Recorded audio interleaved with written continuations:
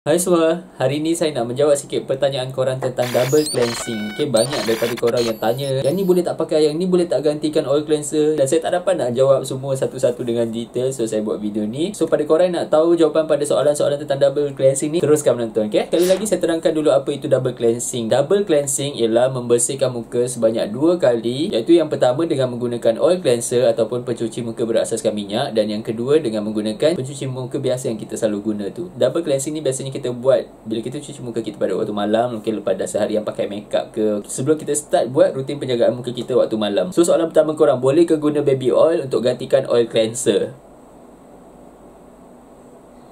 Jawapannya tidak, no, never. Tak sama sekali tak boleh guna, okay? Kenapa? Cuba korang pergi ambil botol baby oil korang tu dan korang tengok ingredient list dia. Bahan pertama dalam baby oil ialah mineral oil. So, apa masalah dengan mineral oil? Mineral oil ni memang ada reputasi yang sangat tak baik dalam bidang kosmetik. Yang pertama, mineral oil ni ada banyak grade, okay? Ada banyak grade daripada grade yang boleh digunakan dalam kosmetik, daripada grade yang boleh digunakan dalam dalam bidang-bidang lain dan grade yang terbawah sekali ialah ialah mineral oil yang digunakan untuk melancarkan fungsi fungsi engine dalam kereta kita tu okey? Masalah dia ialah bila kita tengok ingredient pada produk-produk yang kita letak kat muka kita dia hanya akan tulis kat situ mineral oil. Dia tak akan bagi tahu kita mineral oil yang digunakan tu grade apa okey? Sama ada itu grade yang paling tinggi ke atau grade paling rendah ke grade kat tengah ke kita tak tahu. So korang nak ke risiko kan bukan saja tak baik digunakan pada muka kita tapi untuk baby pun sebenarnya tak disarankan untuk guna. Yang kedua masalah mineral oil ialah dia akan menyumbat pori-pori kita. Eh, dalam bidang kosmetik ada skala untuk bahan-bahan bahan yang kita letak dalam produk kosmetik skala ni tunjukkan sama ada bahan ni boleh menyumbat pori ke atau kurang menyumbat pori ke atau sangat menyumbat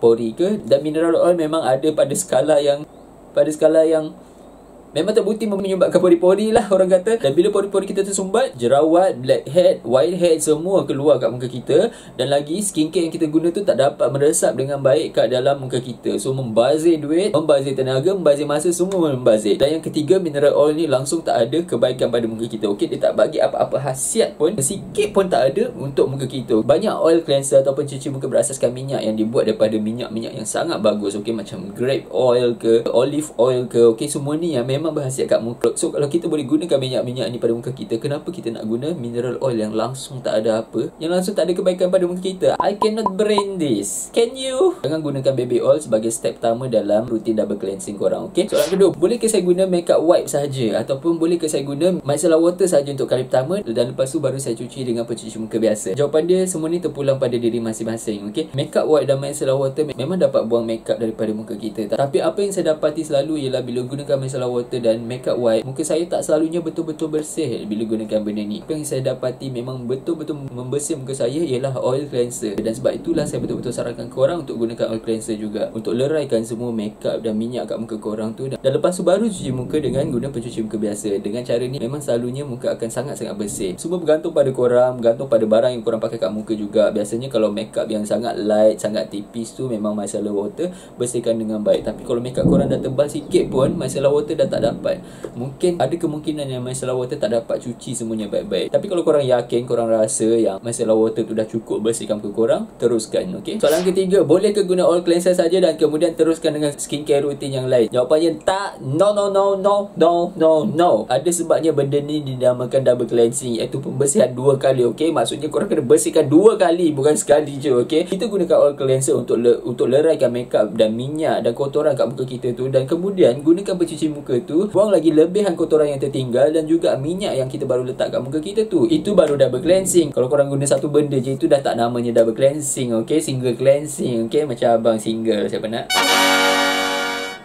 Soalan terakhir sekali Ramai yang cakap Double cleansing ni buat pada waktu malam saja. Tapi macam mana ketika waktu Zuhur nak solat Adakah perlu buat double cleansing juga Ataupun boleh remove makeup dengan guna makeup white saja. Okay biasanya yang kita selalu dengar Cuci muka dua kali sehari saja. Okay dan buat double cleansing waktu malam saja. Ini ialah benda-benda yang dikatakan oleh orang-orang barat Okay oleh orang Korea ke Jepun mungkin Yang bukan Muslim Sebab itu cara hidup diorang Itu memang cara hidup diorang Diorang pakai makeup dari pagi sampai malam Barulah diorang cuci Tapi untuk orang-orang Muslim yang pakai makeup pada waktu pagi Dan dan sampai je waktu Zohor kita kena cuci makeup kita untuk ambil wuduk kan? Memang kita kena cuci muka kita beberapa kali sehari dan memang kita kena buat double cleansing waktu tu okey ada yang kata dia pakai makeup wipe saja untuk buang. Ada yang kata pakai micellar water saja untuk buang. Ini terpulang pada korang. Kalau korang yakin yang muka korang bersih dan wuduk korang sah okey tapi bagi saya kalau cuci muka untuk perkara biasa tak apa. Tapi kalau kita nak cuci muka untuk wuduk untuk bersolat kita nak tak ambil risiko yang wuduk kita tu tak sah. Tak kan? Bukan saja kita pakai makeup kalau pakai sunblock saja kat muka pun saya akan buat double cleansing. Tiba waktu nak bersolat waktu zuhur macam tu saya akan buat double cleansing. Jadi cuci muka 4-5 kali sehari tak rosak ke kulit muka? Sebab itulah pentingnya dan sebab itulah saya sarankan untuk korang gunakan oil cleanser pada step pertama dan yang kedua menggunakan pencuci muka